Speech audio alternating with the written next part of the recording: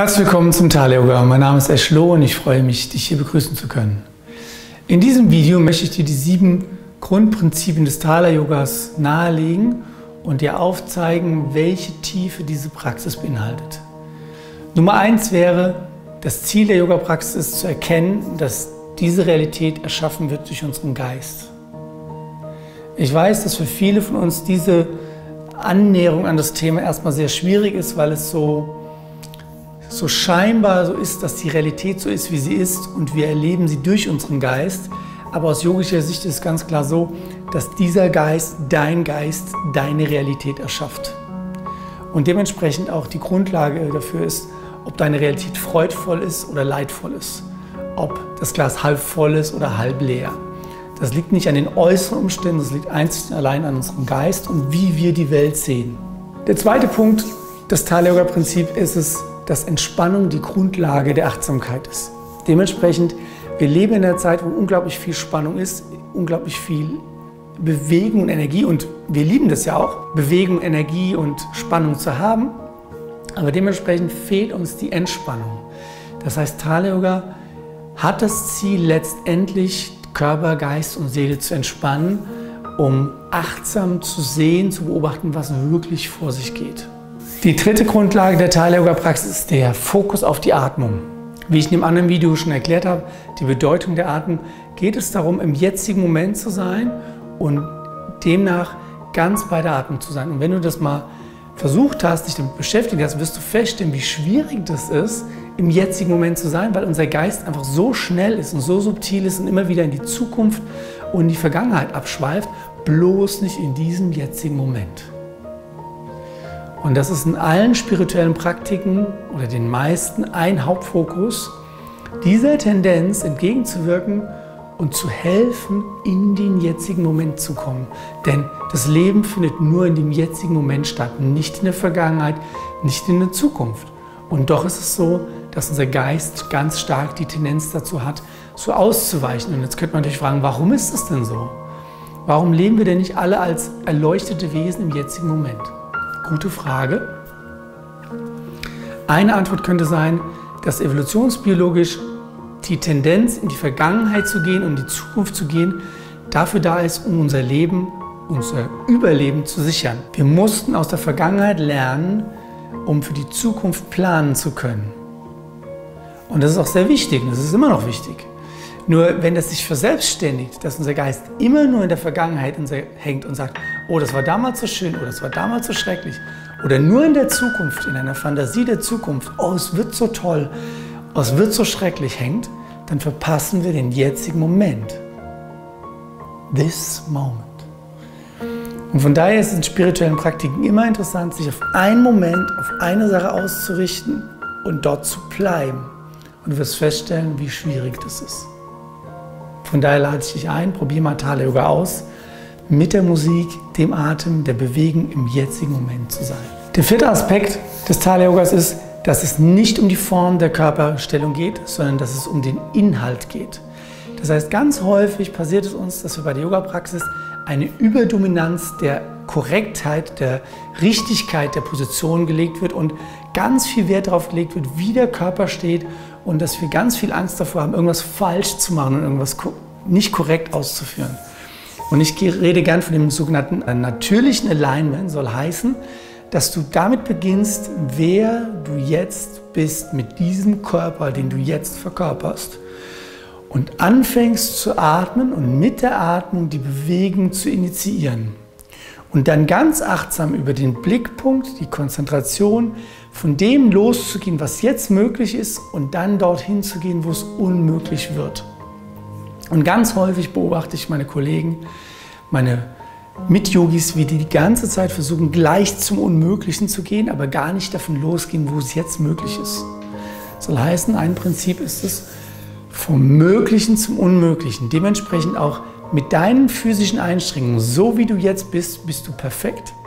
Und was wir wollen, wir wollen über Atem und Bewegung diese Perfektion ausdehnen, diese Vollendetheit, die Grenzen ausdehnen. Denn es ist auch ein natürliches Prinzip.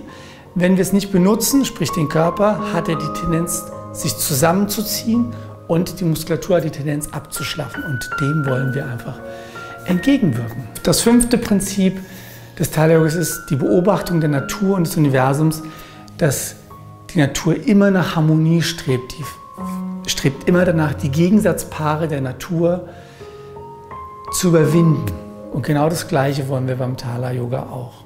Soll heißen, das, was du als Qualität in den Boden gibst, kommt als Qualität in die Position zurück. Die Qualität, wie du ausatmest, bestimmt die Qualität der Einatmung. So wie du einen Raum betrittst, liegt fest, was in diesem Raum passiert.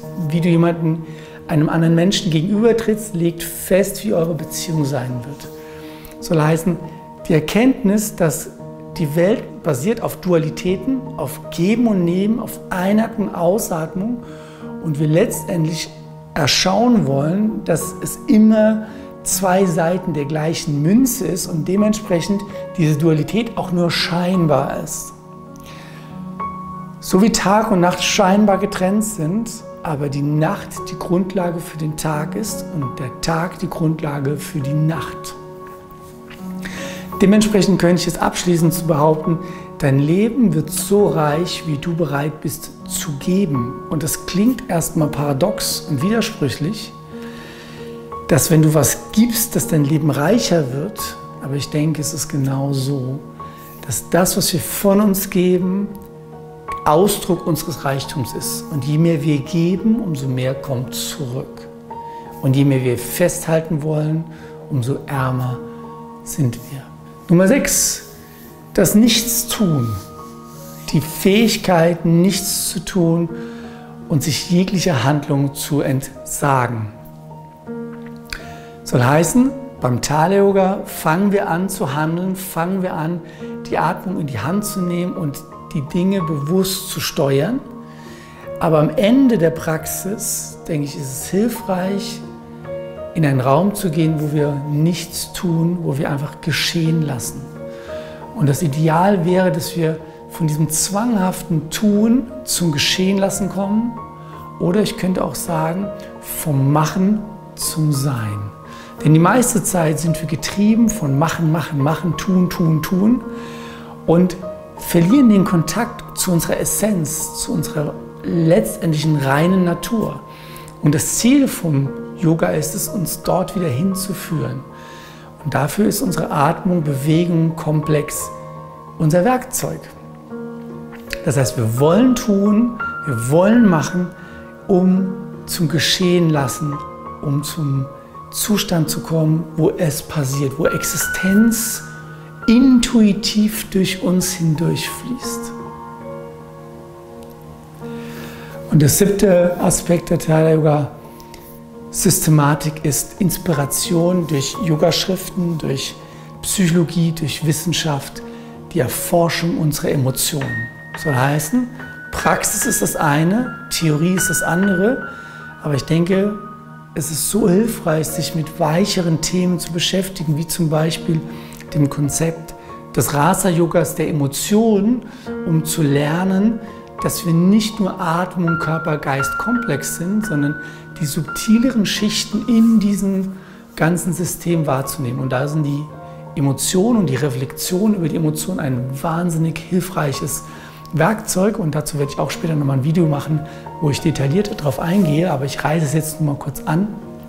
Das heißt, die intellektuelle Reflexion, sich zu beschäftigen mit den Wissenschaften, mit den Weisheitslehren des Yoga Sutras, der Bhagavad Gita und der Reflexion über die eigenen Emotionen ist ein weiterer Aspekt der Thala Yoga Praxis. Und ich hoffe, dir jetzt einen kleinen Einblick geben zu können in die sieben Aspekte des Thala Yogas. Ich fasse sie nochmal kurz zusammen. Nummer eins ist zu erkennen, dass Geist Realität erschafft.